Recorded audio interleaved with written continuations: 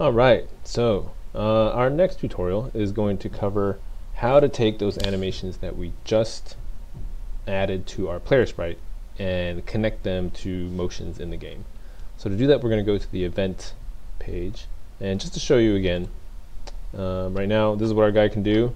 Just moves back and forth. He changes directions that he's facing which is nice but other than that it's not not a whole lot. Okay also it's kind of annoying actually that it's so far away this game. I mean we can make we'll make more platforms but right now he's too far away from the screen or from our point of view. So let's actually change that. Uh, if you go to layout you click on layout um, and then look at the properties bar you should find a uh, option here over here called project properties. You click on view and down here in display it'll say viewport size 4000 by 2040 which it feels too big right now. So let's half that. We'll say 2000 by 1020. Okay. So now if we hit play, you'll see our guys right here. And you can see a little more detail to him and things scroll and all that kind of stuff. Okay, whoops. Alright. Anyway. So that's our guy. So let's get him actually animated. Uh, we'll go back to the event sheet and here we're going to add an event to the player box because remember this is the object that we've been moving actually. And it's just the player object here that's connected to the player box that we see. So the player box is the object that we want a condition for.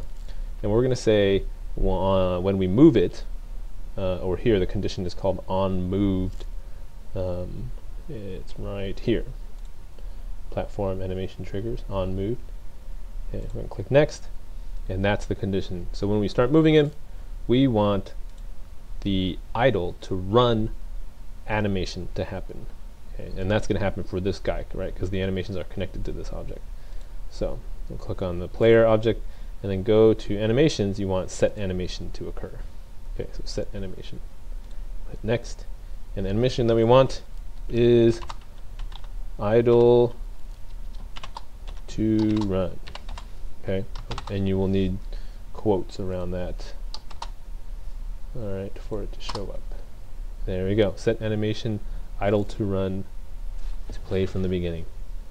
Uh, as I show you this next animation event added you'll see there's an easier way to type in that animation name so we don't mess it up okay?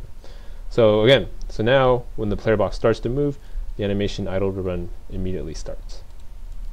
But once it runs out because remember it was only like seven frames or so uh, what's going to happen?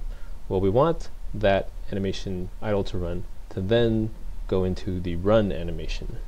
And these are both on the player object, so they don't actually utilize the player box object. So we're just going to do player object, and we're going to say on animation finished, which is here, animation on finished.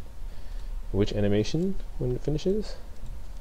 The idle to run animation. So see that? I just got rid of one double quote and then they bring me a list of all the animations that we have. Okay, so when the idle to run animation is finished, then the action that we want is the player object, again, he's going to run a different animation. So we'll say set animation again. So the animation that will then run is just the run animation. Okay, because the guy will hopefully still be moving. Oops. There we go. Hit OK. We're done. And there we go. Now we have our second animation event.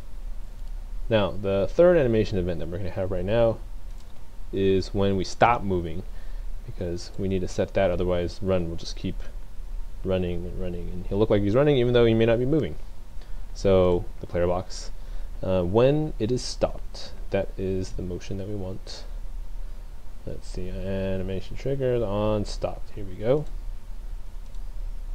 Okay, then the action that we want is the player object will uh, set a different animation. Okay, so the animation here now that we will set once the guy stopped is actually back to idle. So I don't need to type that in. Okay, and there you go. So now he's back to idle and we can let's see make sure it's all right when it stops the animation idle starts okay great Uh, let's save this, and just to make sure, we'll hit play, see if this works properly. It starts running. He stopped. He goes back to idle. Looks pretty good so far. Yep. All right. Now we still haven't done our jump animations yet. We'll do that in the very next uh, tutorial. So stick around.